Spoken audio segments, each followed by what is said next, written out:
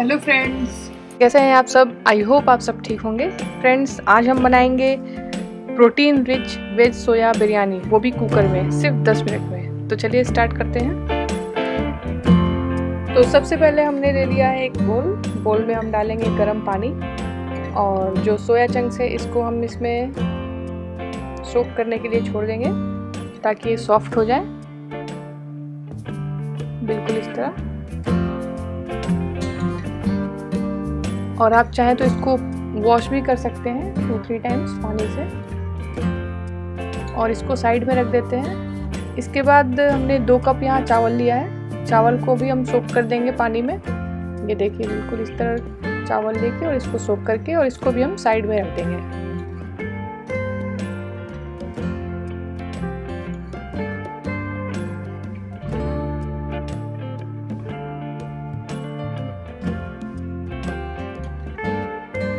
इसके बाद हमने एक बोल में एक कप दही लिया है। दही में हम कुछ इंग्रेडिएंट्स डालेंगे। उसके बाद जो है सोयाबीन को मैरिनेट करेंगे स्क्वीज़ करके।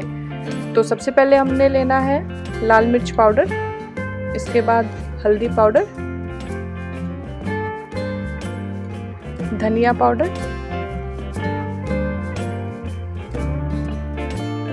गरम मसाला।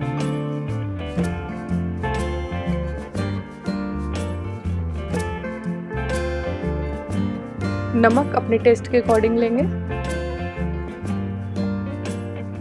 हरी मिर्च, इसको मैंने स्लाइसेस में काट लिया है। अगर आप चाहें तो हरी मिर्च की क्वांटिटी बढ़ा भी सकते हैं, ये आपके ऊपर है। और एक चम्मच जिंजर गार्लिक पेस्ट अब इन सबको हम अच्छी तरह से मिक्स कर लेंगे। बिल्कुल इस तरह से। फ्रेंड्स आप मसालों को अपने अकॉर्डिंग डाल सकते हैं। अगर आपको बहुत ज़्यादा स्पाइसी चाहिए तो तो मसाले की क्वांटिटी को आप इंक्रीज़ भी कर सकते हैं। ये देखिए, अच्छी तरह से इस तरह से बिल्कुल मिक्स करके और अब हम इसमें सोया चंक्स को डालेंगे। हल्के हाथों से बिल्कुल स्क्वीज़ करके, बिल्कुल ऐसे।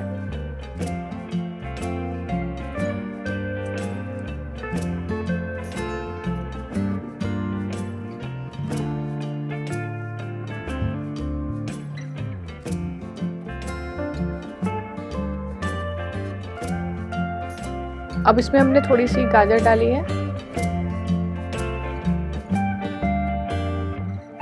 और अगर आप चाहते हैं तो आप और भी वेजिटेबल ऐड कर सकते हैं अपनी चॉइस के अकॉर्डिंग अब इनको हम मैरिनेट होने के लिए रख देंगे साइड में।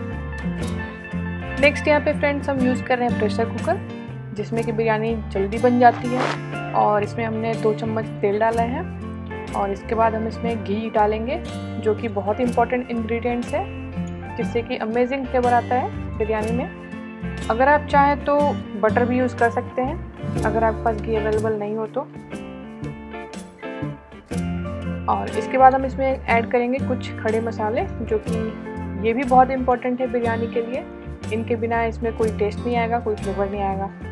तो सबसे पहले हमें डालना है जीरा।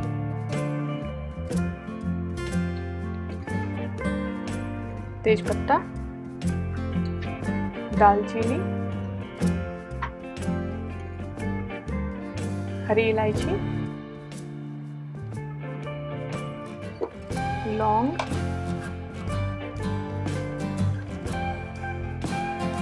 काली मिर्च, और थोड़ी देर के लिए इनको हम फ्राई कर लेंगे। ताकि ये अच्छी तरह से मिक्स हो जाए तेल के अंदर।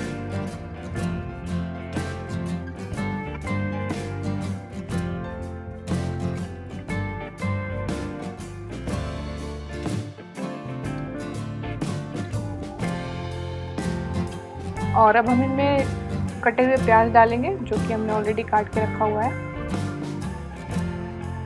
और गोल्डन ब्राउन होने तक इनको फ्राई करेंगे।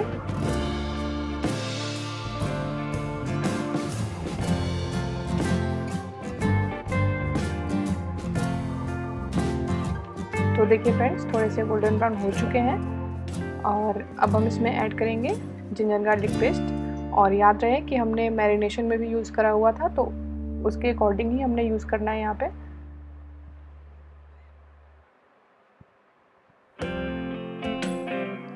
थोड़ी देर के इनको भी हम फ्राई करेंगे।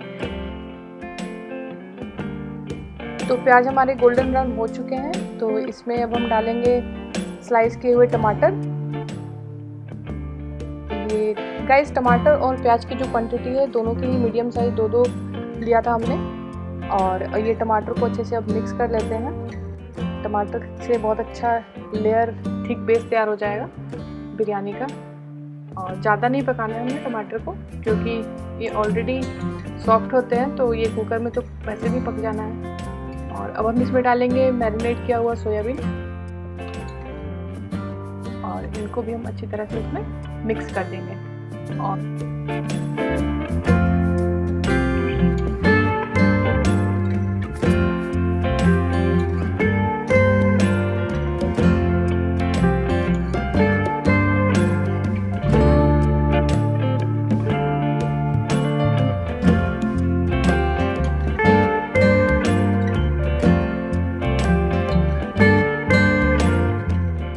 गाइस अच्छे से मिक्स हो चुका है ये।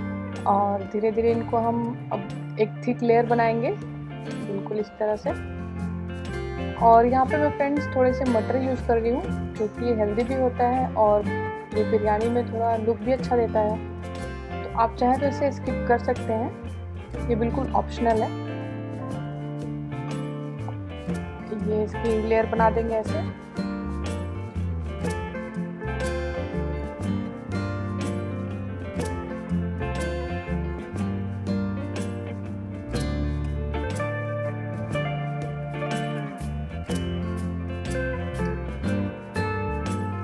अब हम इसमें चावल डालेंगे, जो कि आपने वीडियो में पहले देखा ही है, मैंने सोख किया हुआ था। लगभग 15 से 20 मिनट के लिए, क्योंकि हम कुकर में बना रहे हैं तो ज़्यादा देर के लिए सोख भी नहीं कर सकते। ये बिल्कुल इस तरह से लेयर बना देंगे इसका। अब इसमें मैंने थोड़ा सा नमक डाला है, और थोड़ा सा गरम मसाला भी।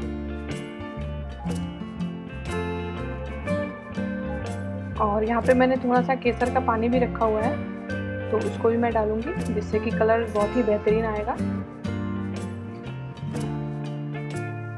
और ऊपर से इसमें हम घी भी डालेंगे, ताकि जो हमारे चावल हैं, बिल्कुल अच्छी तरह से मिक्स होके और आपस में चिपके नहीं यहाँ पे मैंने दो कप चावल लिया हुआ था तो इसमें मैं तीन कप पानी डाल रही हूँ।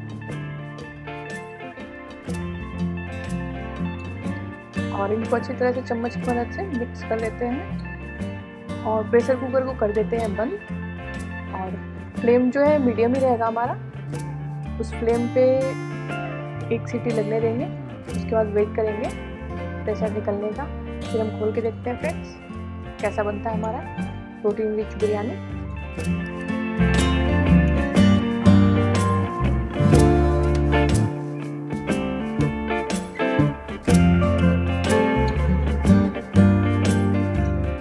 बिरयानी पक चुकी है हमारी। और अभी चेक करेंगे कैसी बनी है। खुशबू तो बहुत ही अच्छी आ रही है फ्रेंड्स आप भी ट्राई करना ज़रूर इसे। और कमेंट बॉक्स में कमेंट करके बताना कि आपको ये रेसिपी कैसी लगी। और मेरे चैनल को सब्सक्राइब करना लाइक करना और शेयर करना बिल्कुल ना भूलिएगा। ये देखिए, ये बहुत ही बेहतरीन बनी है। आप भी ट्राई करिएगा फ्रेंड्स तो मिलते हैं आपसे नेक्स्ट वीडियो में। Thank you bye bye